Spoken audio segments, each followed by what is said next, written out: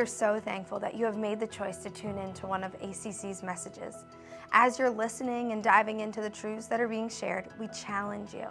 If you're on social media, use the hashtag YouBelong at ACC if God taught you anything during this message. We want to get to know you. So check out our online community by watching our live service at arundelcc.org/live. This is where you can interact with other viewers in the chat, fill out a prayer request, and follow along with message notes. And we believe that God is going to do some awesome things in your life today. Great to see you all here this morning. Uh, those of you who are new, we're, we're in a series right now called Family Matters, which you hopefully have picked up by now.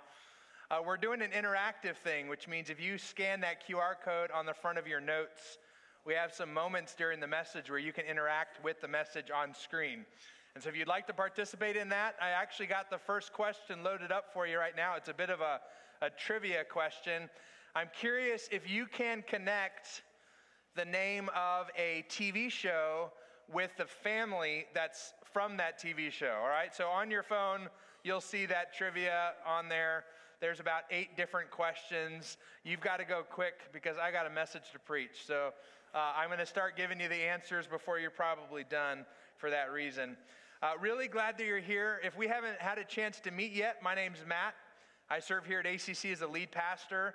Uh, for those of you in this room, those watching online, those who are down in the lounge, and those of you online, you can uh, scan the QR code too that you see on your screen and you can uh, participate. All right?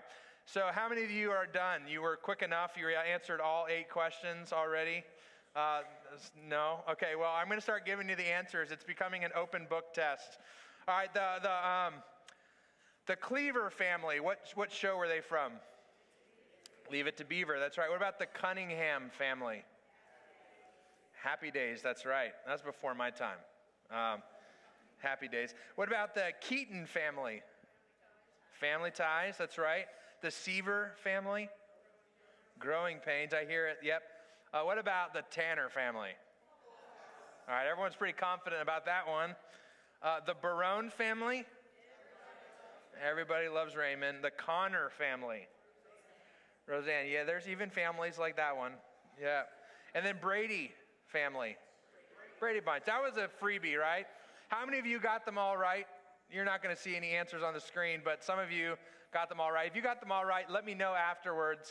So next time my wife and I do a trivia night, we can take you with us because we're, we're terrible at stuff like that. And uh, so we're, we're talking, you know, last week we talked about the the foundation of every family, right? If you're going to build a house, you want to build it on a firm foundation, and we, we recognize that the foundation we build our family upon is the rock that is Jesus Christ, right? We're going to build our house upon the rock.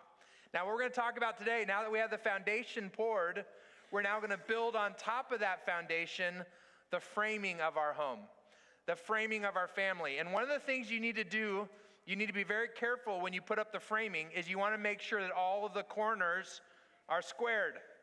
Right? If you put up the framing and you don't take time to make sure everything's level and squared, it's going to be really hard when you start trying to hang drywall and all that other stuff, right? So we want to make sure that we got the, the framing squared.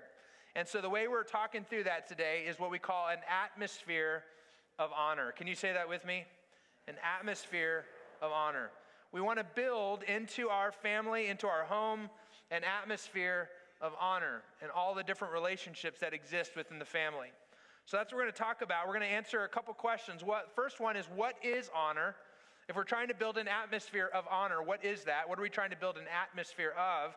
And then the second question, much more practical, how do we actually do that? What are the relationships in the family that God's word tells us we need to show honor to one another in those relationships. We're going to look at that.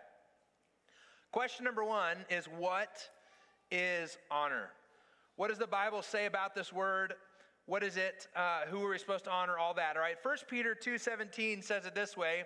It says, "Honor everyone." There it is, right there. Uh, it's pretty clear that the Bible tells us that we're called to show honor to everyone. Uh, and you might be thinking, well, what does that mean? Like, well, I thought we were talking about within the family. We'll, we'll talk about the family in a minute. But believe it or not, when we're talking about the concept of honor, Scripture tells us that we're called to honor everyone. that we're to love the brotherhood, that we're supposed to honor the emperor, that we're, that we're, that we're called to honor everyone. Now, let me explain what, I, what honor means in the dictionary. Later, I'm going to give you the, the kind of the Hebrew definition of it, but in the dictionary, it means to esteem as highly valuable. You know, the Bible tells you that you're supposed to look at other people and you're supposed to esteem them as valuable. They're, you're supposed to ascribe value to them. Why? Have you ever met someone you're like, man, this person isn't honorable. This person doesn't seem worthy of honor. This, uh, this person is not valuable to me. Uh, you know, we encounter people like that all the time, but scripture says that we're supposed to honor everyone. Let me show you why. Let me show you why every single one of us in this room needs to honor every single other person in this room. Genesis 1 27. Go all the way back to the first chapter in Scripture. It says, So God created human beings. Raise your hand real fast if you're one of those. Okay? That's all of us in this room. God created human beings in his own image. And then, in case you missed it, he says it again in the image of God, he created them. Male and female, he created them. See, right there in Scripture, we get this concept. It's a Latin phrase called imago Dei. Imago Dei simply means that if you are a human being, you are made in the image of God. And therefore, guess what? You are worthy of honor in that alone.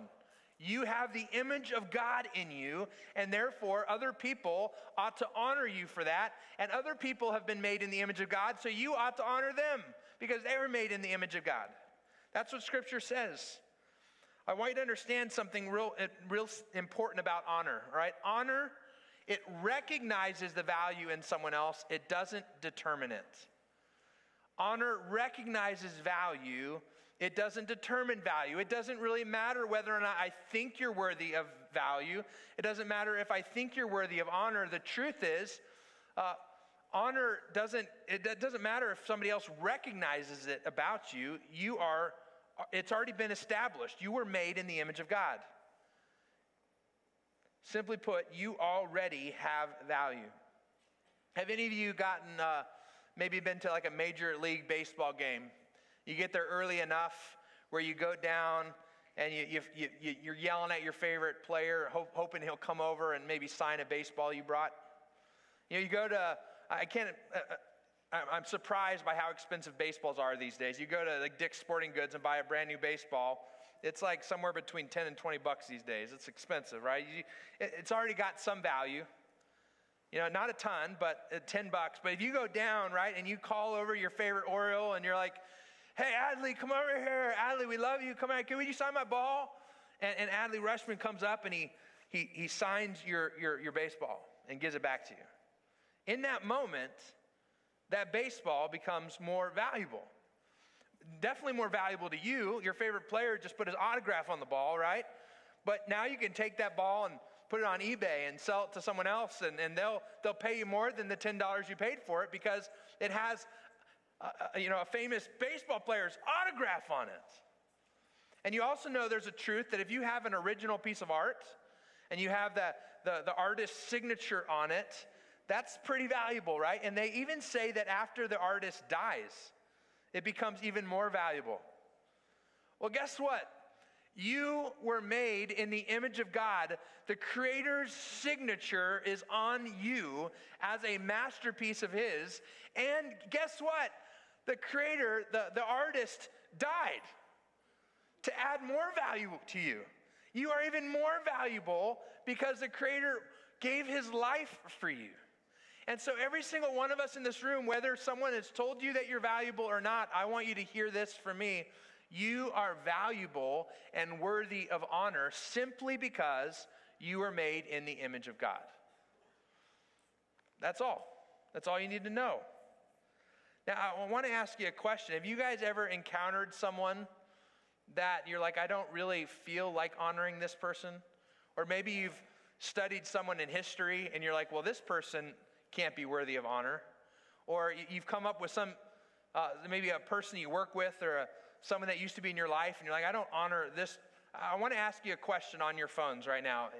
All right, I'm not going to pop these answers up on the screen because I'm afraid of what you'll type. But, um, The question is simply put who is someone in your life that is difficult to honor? Someone in your life that is difficult to honor. Go ahead and type those for me.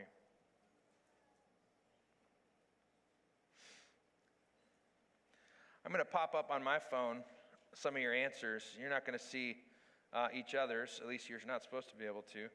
And hey, do me a favor and don't put names, you know. Just call them out by like a title or something like that. You know, I had this problem last service too. Uh, you guys are all using up our Wi Fi. My phone's not updating properly.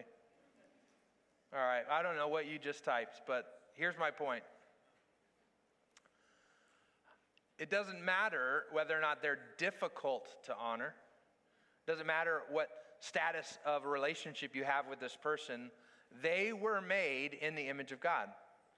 And we all ought to learn how to start seeing people that are difficult to love and difficult to respect as simply that image bearers of God. In fact, it says in Matthew 5, it says this If you uh, love only those who love you, what reward is there for that? Even corrupt tax collectors do that much. If you are kind only to your friends, how are you different from anyone else? Even pagans do that. And what the scripture is reminding us of is I need to learn in my life, and I, am still working on this too. I need to learn how to honor people, to, to, to see the image of God in people that are difficult to show honor to. It might be someone who thinks differently than I do, right? It might be someone who votes differently than I do. It might be someone who looks different than I do. In fact, it just might be someone who doesn't like me.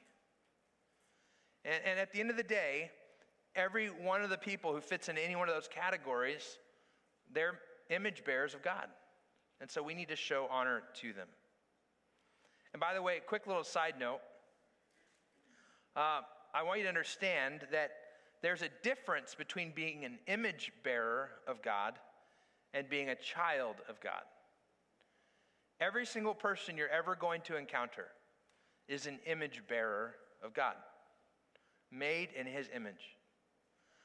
Only those who have put their faith in Jesus and have walked into a, relationship with him through, through putting their faith and trust in Jesus' death, burial, and resurrection become children of God.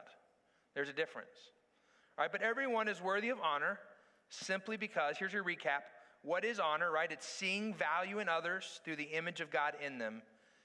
And, and like Romans 12 10 says, love each other with genuine affection, take delight in honoring each other. Everyone is worthy of honor.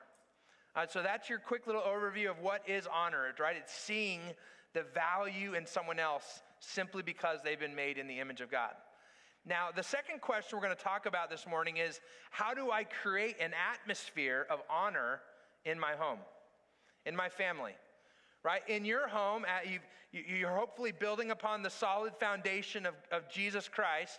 And now, as you're building the framing of your home, how are you making sure that your, your home it has squared corners? And what we're going to do is we're going to create an atmosphere, a framing structure of honor within our house. Now, you might be thinking, well, if I have to honor everybody, why, why is it? Of course, I got to honor my family. Why, why are we talking about our family? We just talked about everyone, and now you're trying to say, well, here, here's what Scripture says that there are certain relationships in your life that are worth extra honor. There are some people in your life the Bible says that you should give double honor to.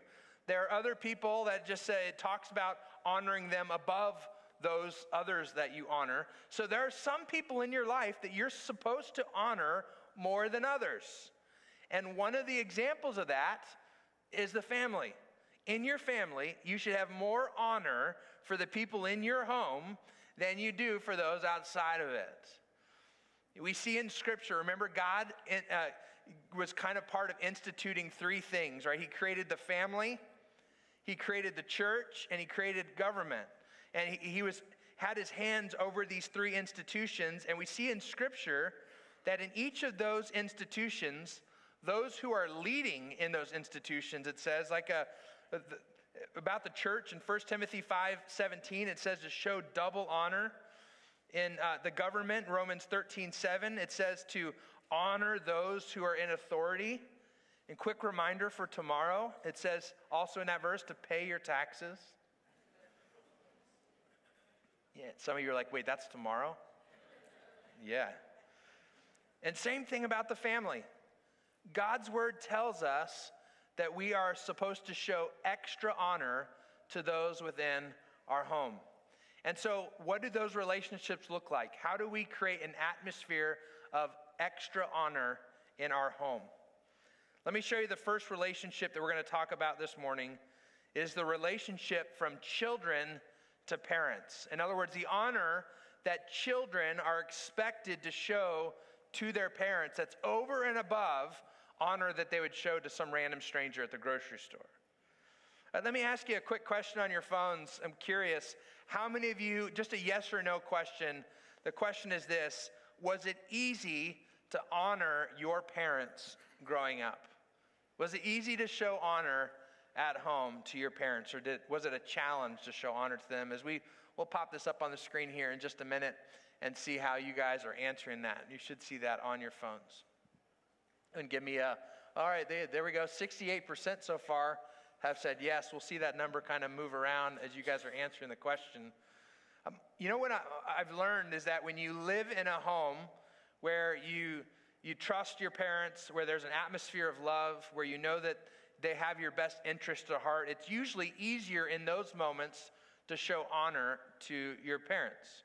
And if you didn't have that, if you didn't have an atmosphere of trust or there was abuse or it was very toxic, you probably are in this 31% that said no. All right, we can pull that down. It's kind of a, uh, it's good to know that most of you came up, I, I, I would say, probably in healthier homes where it was easier to honor your parents. But you know what Scripture doesn't say? It doesn't say honor your parents if you think they're worth it. It doesn't say honor your parents if if they deserved it or it's easy to do. It says honor your parents.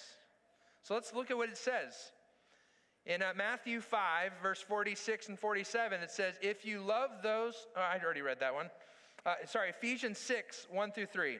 It says, Children, obey your parents because you belong to the Lord. There it is. Children, obey your parents, for you belong to the Lord. And then it says this very clearly For it is the right thing to do.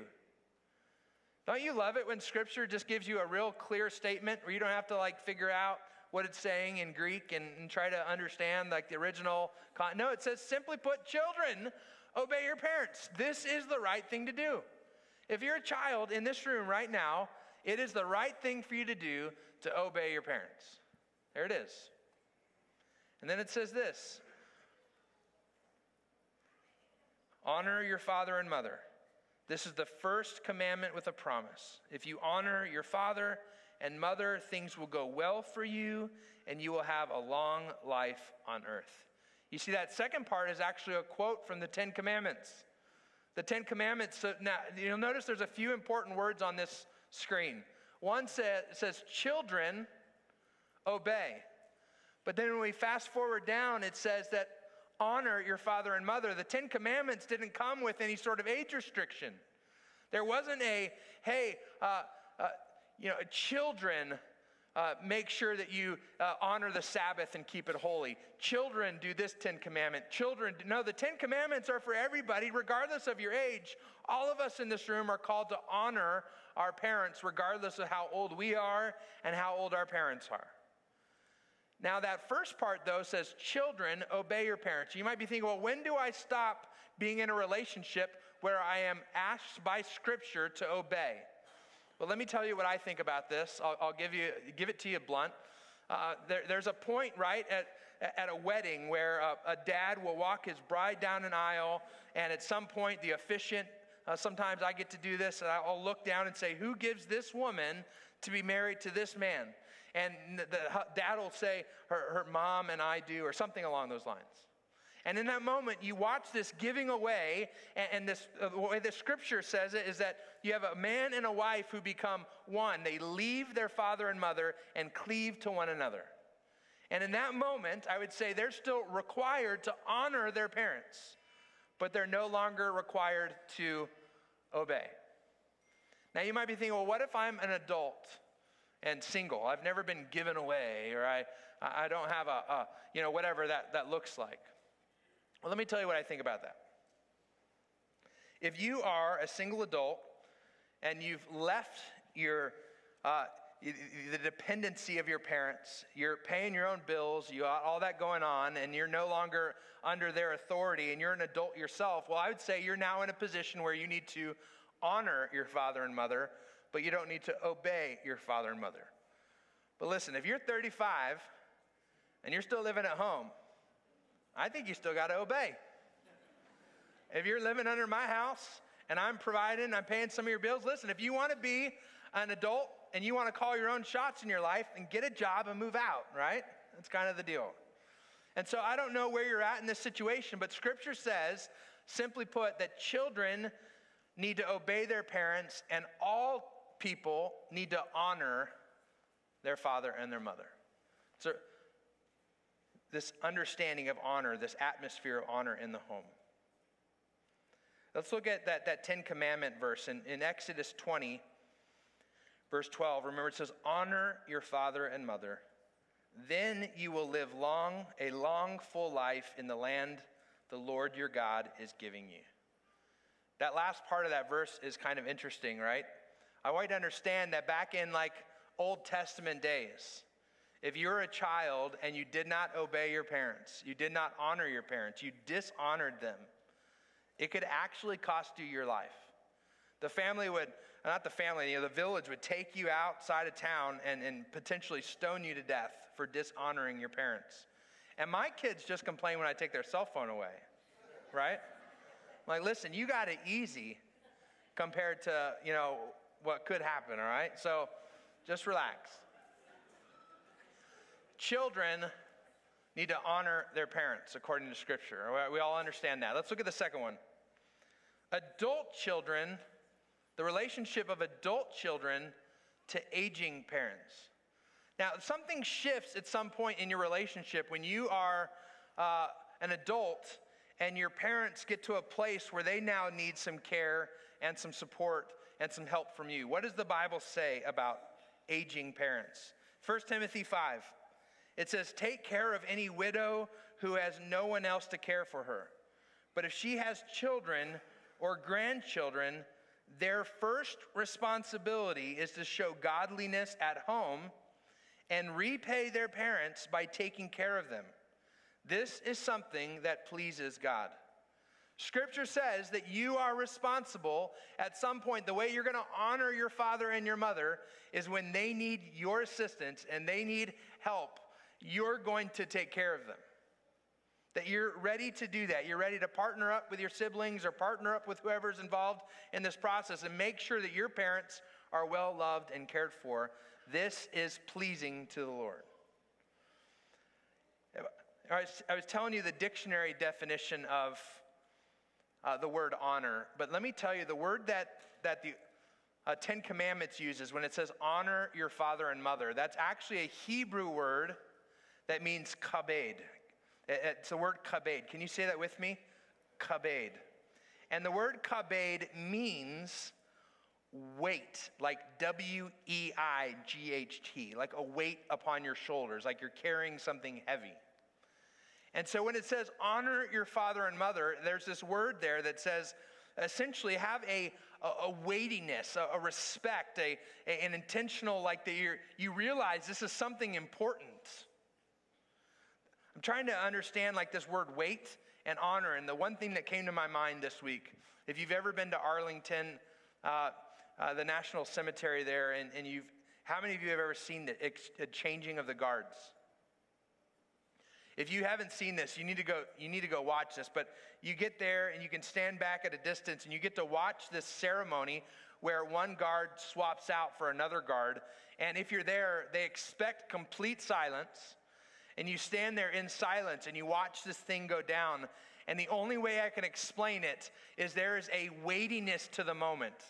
There's something clearly heavy in that moment. And, and it, it's without a doubt what it is it's a, an atmosphere of honor. You recognize that they're doing this whole pomp and circumstance out of honor for those unnamed soldiers, the tombs of the unknown soldiers who sacrificed their lives, and, and now the, even their families aren't, they're still in, on, uh, they're, they're not even identified. And so you're standing there in this moment and you realize there's a weightiness to this ceremony. That's what honor means. It's this kabed that we are called to have not only for our, our, our, parents, but our aging parents. We are meant to care for them and to have that kind of weightiness and to make sure that we recognize this is something that we do that pleases God. Out of curiosity in this room, how, how are you guys currently caring for your parents? Some of you are younger and your parents are healthy. If you look down at your phone, you can answer that question on there. Uh, most of the first service, their parents were still spry and an individual, living individual lives and didn't need care. But I'm wondering if that, that, that number is a little different here. Uh, how are you currently caring for your parents? And a couple different options. Uh, most of you are saying that your parents are still self sufficient. That's great. Uh, about 13% or 12% your parents are deceased. Some of you, 9%, you're starting to make plans. That's an interesting phase of life, isn't it? It's like you're starting to realize that my parents are going to need some help soon, and I'm going to have to have a really hard conversation when I'm like, hey, dad, give me those keys. like, hey, I don't think you should be driving anymore. Hey, dad, let's figure, hey, you know, mom, let's, uh, you're starting to figure out what that might look like. You're starting to maybe put some money in the bank or uh, figure out a room in the house or figure out what that might look like. That's about 11% of you. And some of you, 4% of you right now, are providing direct care in your home for parents. And God bless you for that. I know that's not easy work, but it's pleasing to God. And now, now here's the, the, the 62% top. My challenge to you, and for those of you who are planning, to make sure that one day you recognize that God has called you, first and foremost, to be the primary provider for your aging parents when they need that care. That's one of the ways we create an atmosphere of honor in the home. All right? Let's go on to, to number three. A third relationship in the home that that requires extra honor is the relationship of wives to their husbands. Wives showing honor to their husbands. Now, we're going to get to the other one in just a minute. I know some of you are like, whoa, hold up. I, I will admit, this is a very difficult topic to preach on. Uh, we live in a world right now that is pretty much like, hey, you know, men and women, we're all the same, and we're all, you know, we're all whatever, and nobody's nobody's the boss of me, and this, that, and the other. Well, here's what I want to challenge you to think about. Number one, I don't mind stepping on toes. I never have. The church is growing pretty quick, so if we do a seat thinning sermon every once in a while, that's okay. All right here's what I care about most. I just want to accurately preach the truth of God's word. I don't really care too much about people's feelings in that, okay? I certainly care about how people feel and, and trying to be careful to, to balance truth and grace. But the thing that we should be most uh, conscientious of as a church family is that we just want to do what the Bible says, not, uh, not respond by how we feel about it, if that makes sense. And here's what the Bible says let me give you one example of a passage of scripture on this. 1 Peter chapter 3 verse 1 says, "In the same way, you wives must accept the authority of your husbands." And that's pretty weighty, isn't it? Whew, what does that mean? What am I supposed to do with that? Some of you are in here like, my, my husband, I, I want to let him lead our family, but he won't. Some of you are like, uh, I, I, I, I'm not going to let my husband lead the family. Have you ever met him? You know, like you, and you got like, we're going to talk about this in detail next week. If you're wondering, what does it mean to have an atmosphere of honor between a wife to her husband? What does that look like? We're going to go into detail on that next week. So I want to invite you to come back. It's going to be a tough message to, to preach, but you know, the, God's word is what it is. I'm, you know, we're a, it's not an essential of faith, but I'm, as your pastor, I'm a complementarian. I believe that God has created men and women with unique, different roles, and that men are called to lead in the home. That's my perspective. That's what I believe the Bible teaches. And so, one of the best ways, just if you can't come next week and you just got one little bit of information here, one of the best ways wives can honor their husbands is to let them lead in the home. Let them lead the family. Let them train up uh, and, guide the children toward in, in godliness. Let them have that responsibility. If they're not claiming that responsibility, don't want that responsibility, pray that out of them. You know, join, have some other people surround you and say, I need to pray because I want my husband to, to lead us, but he won't.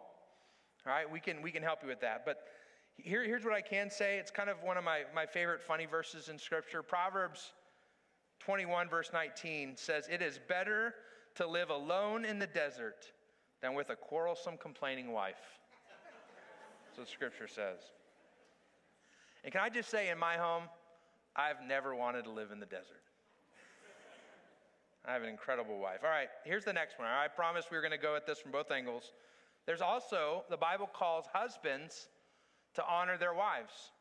In fact, I would even say the Bible goes into even more detail in Scripture about this relationship that husbands are called to honor their wives. Let me give you three examples in Scripture. 1 Peter 3 7 says, In the same way, you husbands must give honor to your wives. There it is super clearly. Husbands, you must give honor to your wife. Treat your wife with understanding as you live together. She may be weaker than you are, but she is your equal partner in God's gift of new life. Treat her as you should, so your prayers will not be hindered. So scripture says. Colossians 3:19 says, "Husbands, love your wives and never treat them harshly." How about Ephesians 5? It says, For husbands, this means to love your wives just as Christ loved the church. He gave up his life for her to make her holy and clean, washed by the cleansing of God's word. Now, that verse that's on the screen right now, this one's especially important to me because at my wedding to my wife 22 years ago, I remember this is this passage of scripture was what our the officiant, he was our pastor at the time named Pastor Bo, and he he he talked to me. I remember directly and exhorting me at our wedding. He looked at me and said, "Matt, you've got some really big shoes to fill." Scripture, and he opened up to this verse. He says, Scripture says that you need to love your wife the way Christ loves the church. And I remember even including that in my vows. I promise to love you the way Christ loves the church. Now, that's an interesting vow to make because it's a vow that as you make it, you're pretty much automatically saying, uh, There's no way I can do this. Uh, why? Like, what I'm really saying in that vow, because there's no way I can love my wife the way God loves his church, the way God loves you. I'm supposed to love my wife with that kind of perfection, with that kind of, uh, you know, oh, I mean, it's just impossible. The shoes are too big to fill. So, what I'm saying when I gave my vows to my wife is I promise to do the best job that humanly possible that I can figure out to love you the way Jesus loves his bride, the church. And so, you, you read scripture, even when you keep going on to that verse, it says, He gave up His life for her to make her holy and clean. See, God willingly gave up His life for His bride. And I want to challenge the men, the husbands in this room. You ought to willingly be willing to sacrifice, even up to and including your life, for your bride as a way of honoring her. By the way, not the other way around. Scripture says that this is a, man's cross to bear, be willing to sacrifice for his family, if need be. Now, in two weeks, so next week we're going to talk about that relationship of wives to husbands. In two weeks, we're going to talk about the relationship of husbands to wives. And so we're going to do that one actually together. My wife and I, we're going to, we're going to teach that message together on stage. And I would love for you to be here as part of that. All right, number five. It's got a little bit of time left. Number five, the relationship of parents to children. You know, number one, we are talking about children are supposed to honor their parents, but you know, scripture actually calls you as parents to honor your kids. And here's how you honor your children, right? You don't want to treat your children the same way you treat everyone else in the world. Though we're called to honor everyone, we don't want to treat our family the same way we treat everyone else. I'm not required to provide for everyone else in the world. I'm not trying to keep everyone in the world warm and well fed, but I do need to provide for my children. I need to make sure that I honor them by making sure they are in an environment where they can grow and they can thrive and they can learn who they are in Christ. Right? So I'm not just talking about providing for them physically, I'm talking about providing for them spiritually and creating an atmosphere where that can happen in the home. We are called to honor our children by treating them with, with extra honor, more honor than we treat other people outside our, our walls. See, the most important way to honor your children is to provide for their needs, both spiritual and physical. And that includes both discipleship and discipline. Have you noticed that discipleship and discipline, they're both essentially the same word? We just say them a little differently. They start off with all the same letters. They all come from the same you know, Greek root, right? Disciple and discipline. Let me read some verses to you. In 1 Timothy 5 8, it says, But those who won't care for their relatives, we're just talking about physical needs here, especially those in their own household, have denied the true faith. Such people are worse than unbelievers. Scripture says that if you're not providing for your children, if you're not providing for your wife, you're not providing for the needs of your family, that you are worse than an unbeliever. You got to get that figured out quick and make sure you're providing for those that you've been called to provide for. Ephesians 6 4 says, Fathers, do not provoke your children to anger by the way you treat them. Rather, bring them up with the discipline and instruction that comes from the Lord. All right, now here's one that's a little more controversial Proverbs 23 says, Do not withhold discipline from a child. If you punish them with the rod, they will not die. Punish them with the rod and save them from death. You might be thinking, well, what does that mean? Well, let me tell you, there, there's a ton of research out there. I, I, was looking it up this week, and it's pretty conclusive. Uh, and this is what I learned that children who receive regular, healthy discipline, regular and healthy discipline, feel more loved and protected in the home. You might feel like, as a parent, that your strategies, you know, I'm just trying to be their best friend. I give them what they want. When they cry and they want something, I just give it. You know, I just, I don't want to be that parent. I, I just want to, and there's no discipline in the home. There's no, nothing going on. You're just doing whatever they want, and they're just kind of ruling you. I want you to know that at the end of the day, one day when someone asks them a poll question like this, they are going to feel less loved and less protected by you because of the way you brought them up. Children who are regularly disciplined in a healthy way feel more loved and protected. Now, your question, I'm sure, is well, what does regular and healthy look like? How do I regularly discipline my kids, and what is a healthy way to do it? That, but boy, can we start a fight in here right now. I'll tell you what I think. I read a verse like this, and I'll tell you why we're a spanking family in my home. Now, my girls are all older now, so we're kind of beyond that stage. They're now uh, growing up, they, they love and fear God, and that we have other ways of, of punishing at this point. But at the end of the day, I, I grew up in a spanking home, and I think it turned out pretty well. Um, when you, you, read a verse like this, do not withhold discipline, punish with a rod. Uh, there's a lot of people tell you that that means something different. Uh, not when I study it. So, basically, right, we understand that regular and healthy discipline, we can talk more about that uh, I'm sure I'm going to get some emails. We'll, we'll talk about it. All right. Number six. Number six is another relationship of sibling to sibling. How are you supposed to interact as a sibling to another sibling in the home to create this atmosphere of honor? I got a fun question for you on your phone. This is the last one. And the question is simply this How do you stack up against your siblings? How do you stack up against the siblings that you grew up with, that maybe you have now. Maybe you're answering one of these questions. Let's see what you guys are saying. Uh, most of you think you're the family superstar, obviously. Um, how many of you, I see, uh, whoa, that's changing so quick. Uh, middle child lost in the shuffle as always, 18%. Where are my middle children at? I'm one of you. Uh, okay, some of you got that feeling going on. I, I, siblings, I'm an only, a spoiled only child. Where are my only children at?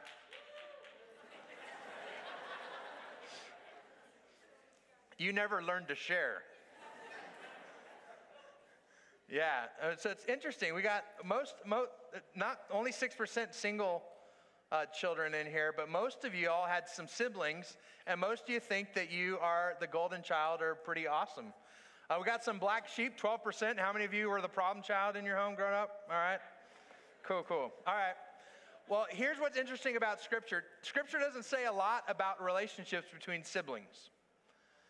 Uh, there's a couple examples of like Mary and Martha, or two brothers arguing over an inheritance, and different things like that.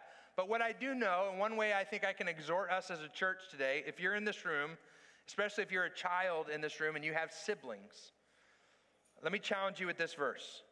Ephesians 4:29 says, "Do not let any unwholesome talk come out of your mouths, but only what is helpful for building others up according to their needs, that it may benefit from those who listen." Kids, listen, I want to challenge you that in your home, the words that come out of your mouth to one of your siblings, they need to be words that build up, that encourage, that, that bring out in them who Jesus says that they are, not that tears them down. The world is going to do that.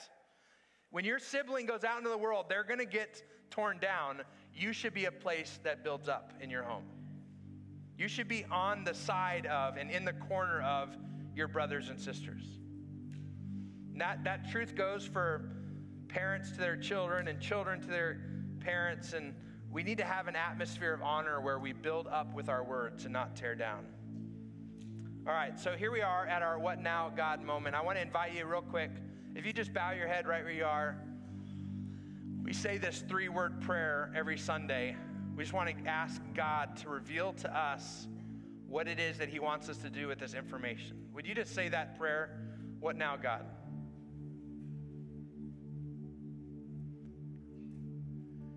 And as you're asking the Holy Spirit to speak into your life right now, to, to give you something clear that you need to do this week, uh, if you're still, stay in that voice of listening. I want you to look up at me and I want to challenge you with a couple things. The obvious one that all of us should walk away with today is we want to create an atmosphere of honor in our home. We want to make sure the corners are squared on top of the firm foundation that is Jesus. But I'm sure you want to get more, in, you know, more specific. What is it that you need to do? And one of the things I want to challenge us to do as a church, I'm going to give you a homework assignment right now. It's called an honor list. I want you to create a list. You're going to put someone from your family that lives in your home, maybe, maybe a parent that's no longer at your home. God will put on your heart who you need to do this with, but you're going to create a list. You're going to put their name at the top of a piece of paper, and you're going to write down all the reasons that you love them all the reasons why they're special to you, all the things that you know just never change about this person that you that you honor and see in them. And I want you to write that list.